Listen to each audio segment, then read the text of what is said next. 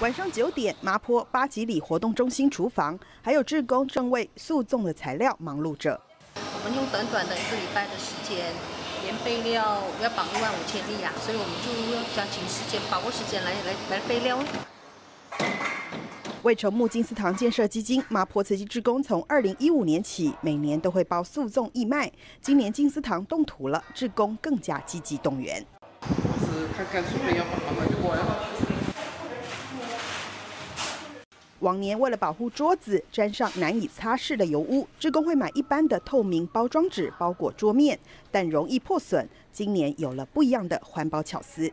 也感恩师兄啊，提供这个，我们就不用一直在换啦。是你擦擦一下，这个它的质感会比较厚啊。你清洗之后晾干之后，还是可以重复使用的，比较环保。我们这以前的不环保啊，用了就丢，你看刚好有剩啊，有剩就来用啊。粽子制作共花费了六天，包了一万五千颗粽子，每一颗都是志工的用心，要为金丝堂尽一份力。大新闻，徐伟婷，马来西亚报道。